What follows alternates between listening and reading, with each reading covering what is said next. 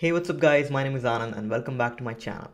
In today's video I'm going to be talking about how to analyze keywords in your Performance Max campaign but most importantly how can you exclude certain keywords that are not performing well.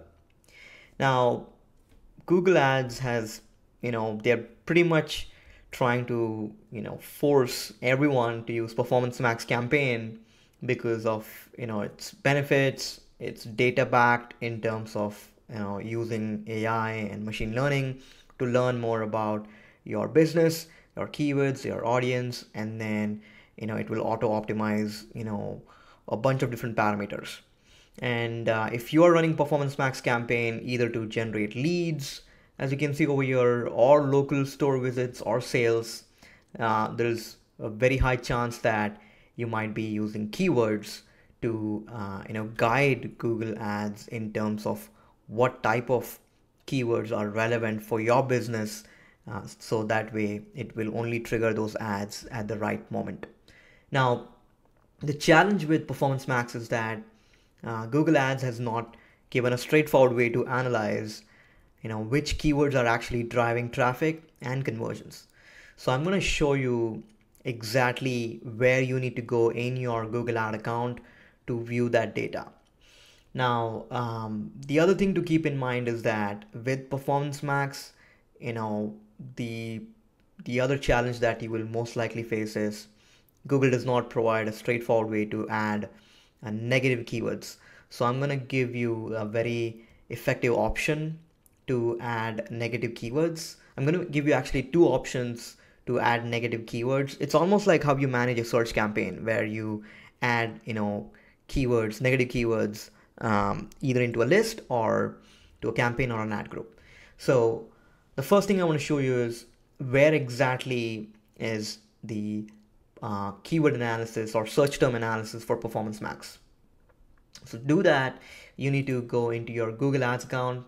And um, in this case, I have selected the campaigns tab on the left hand side. Now, uh, unfortunately, I need to blur some of the data because um, you know again it doesn't matter which keywords it is um, but for this account I need to blur. Anyways when you click on click on campaigns um, click on the insights tab. Now that's very important. Um, when you click on the insights tab um, you will need to scroll down. So over here um, keep scrolling down and then you will get to see something called as search terms report now this is where you will get to see, um, you know, a list of keywords.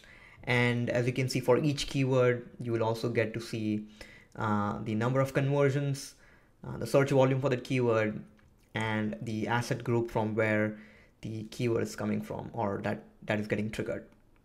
Now, uh, the other thing I want to mention is you can even select this drop down over here and you can choose like different values like clicks, impressions, uh, conversion value, click-through rate, rate, and conversion rate. So as you can see, um, this is where, so under the Insights tab, keep scrolling down and this under the search terms report, that's where you will be able to see like all the different keywords that is actually driving traffic to your Performance Max campaign.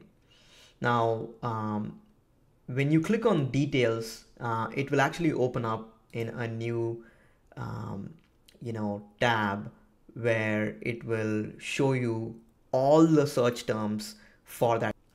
A lot of keywords in here and then you know it has search volume conversions clicks impressions all all those metrics are available. And uh, you can even you know filter it by custom date range in the last 28 days or you know last seven days which is the by, by default option right? So this is where you will actually analyze all your keywords.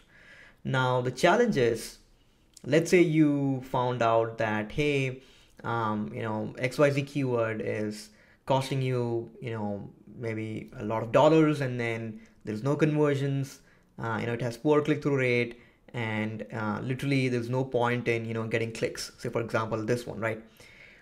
There is no straightforward way currently to add that as a negative keyword just like you would do in your search campaign.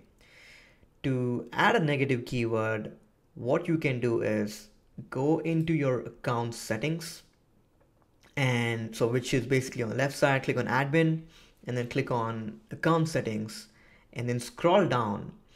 Uh, this is where you can add your negative keywords. So keep in mind that when you add uh, a negative keyword at, at this level this is basically called as account level account level negative keyword when you add a keyword at account level it will impact all the campaigns ad groups and ads because you are making this change at an account level. So you know again over here you can say you know free cheap you know travel. I mean these i'm just making it up you know. It will be different for your business of course.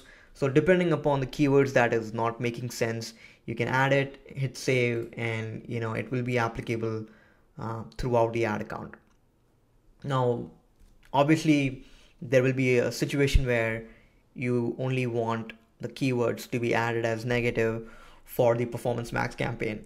Now this is where it gets tricky. And again i think it's pretty um, you know foolish on behalf of google for not providing an easy option uh, to add negative keywords. But essentially the only other option is to fill out a form.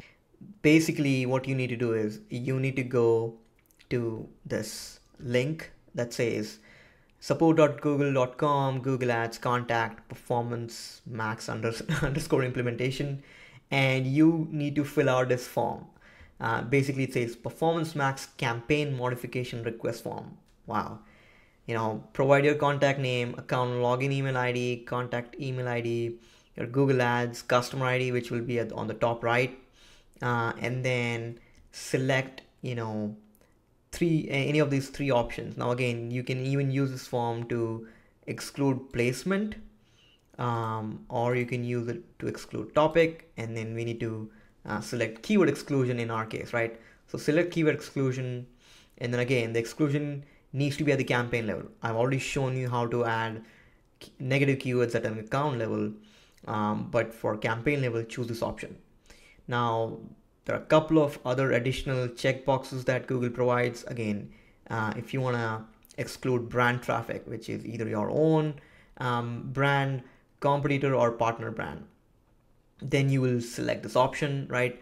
Uh, for terms that aren't brand suitable um, it's saying that use account level negative keywords uh, on certain content categories please use account level um, excluded excluded sensitive content instead and then on specific placements uh, please use a kernel placement exclusion for another performance or automation guiding way. Wow crazy. Anyways if you're unable to use the recommended alternatives feature briefly explain why you're not able to use the uh, recommended alternative feature. Looks like google is trying to build this product by getting feedback. Anyways um, so basically this is where you know you are going to uh, use this form right and then um, submit an attachment so basically um, you need to fill out this um, Excel file or whatever the template is. Uh, and I'm gonna pull this up quickly over here to show you like how it looks like. Uh, and look at this keywords at campaign level, keyword list. I think this is really a lot of work, honestly. Um, anyways, you need to uh, submit that form, check these boxes, and once you hit submit, um, only then the uh, negative keywords will be in effect at the campaign level.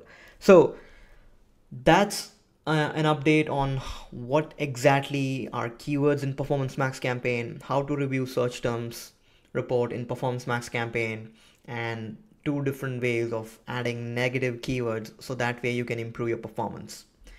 So if you have any questions, let me know in the comment section. Make sure to like, subscribe, and comment, and I will see you next time. Thank you.